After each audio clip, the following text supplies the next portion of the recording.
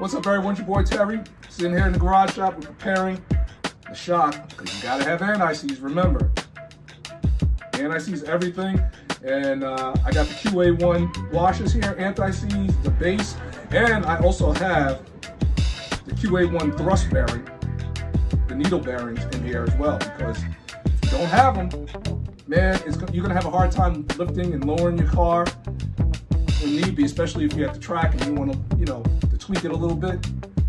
Put those, needle bearings in. It don't mean anything. It, it, it takes no time to do it. Remember, anti-seize between the washers, anti-seize between the spring, the body of the shock. If it ain't messy, it ain't right. Shock is ready. Let's install.